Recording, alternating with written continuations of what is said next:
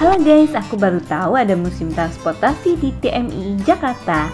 Ayo kita ke sana. Biar gampang, naik LRT aja, turunnya di stasiun TMII. Terus naik mobil Bluebird gratis yang nganterin sampai pintu gerbang. Caranya cukup beli tiket TMII 25.000 yang ada di link IG TMII. Pas di dalamnya untuk ke museum kita tinggal naik angkutan keliling gini yang jurusan ke selatan ya buat ke museum transportasi. Nah ini aku udah sampai dan bayar tiket dulu 10.000. Kaget juga pas masuk malah ketemu showroom Hyundai.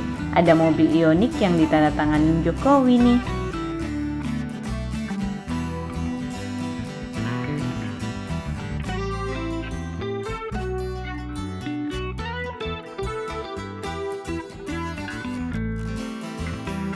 Terus kayak ada prototipe taksi terbang dan kota masa depan. Wih, futuristik banget.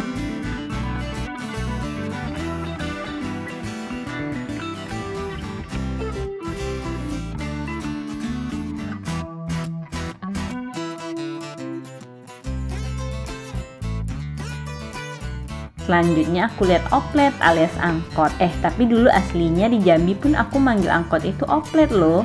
Ternyata itu berasal dari bahasa Belanda.